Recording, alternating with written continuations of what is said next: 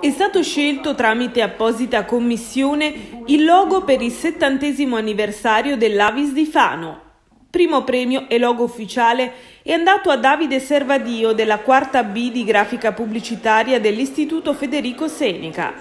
Secondo premio a Nicole Guiducci della terza C della grafica pubblicitaria dello stesso istituto ed il terzo a Matteo Brunetti, Gianluca Tinti, Michael Sabatinelli, Luca Bassotti, Giorgio Schiavoni del liceo artistico Adolfo Polloni. Con questo concorso, con questo contest lanciato alle scuole Grafica Pubblicitaria Seneca e Liceo Artistico Polloni, abbiamo voluto eh, evidenziare la creatività,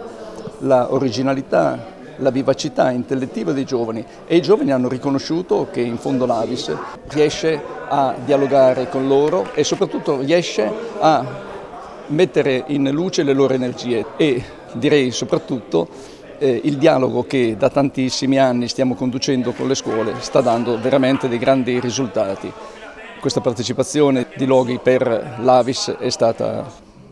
qualitativamente e quantitativamente molto alta, circa 100 prodotti, è stato difficile anche individuare il vincitore. Comunque il giovane Davide Servadio che ha ottenuto il primo premio credo che abbia saputo ben inquadrare una realtà caratteristica e artisticamente e in maniera architettonica bella della città, l'Arco d'Augusto, avvolto in una goccia di sangue come segno di grande solidarietà che attraversa il tempo e attraversa le generazioni.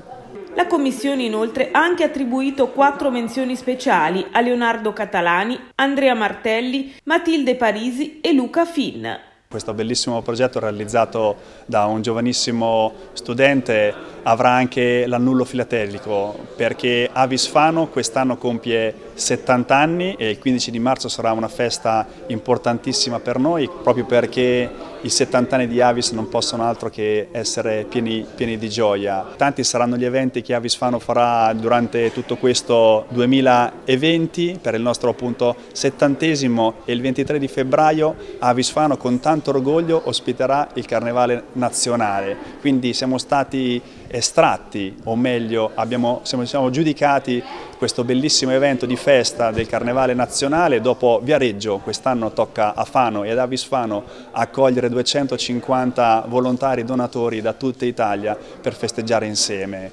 E dopo il 23 di febbraio il 15 di marzo festeggeremo il nostro settantesimo e il 25 di marzo la Memo ospiterà tutti i 100 progetti realizzati da questi splendidi studenti e quindi saranno in mostra questi bellissimi elaborati eh, dando sicuramente una visibilità maggiore ai primi tre classificati. Quindi crediamo tantissimo nei giovani, si sono avvicinati in molti ad Avis in questi ultimi anni, ma non basta perché la sufficienza ematica, la risposta al bisogno delle sacche di sangue è talmente ampio e infatti i, i nostri donatori sono leggermente in diminuzione, quindi aspettiamo con tanta gioia tantissimi giovani perché per rispondere con tanto impegno alla gratuità donazione del dono richiede uno sforzo non soltanto emotivo da parte dei giovani ma anche il numero di donazioni. Quindi giovani, grazie ancora, venite anche a donare.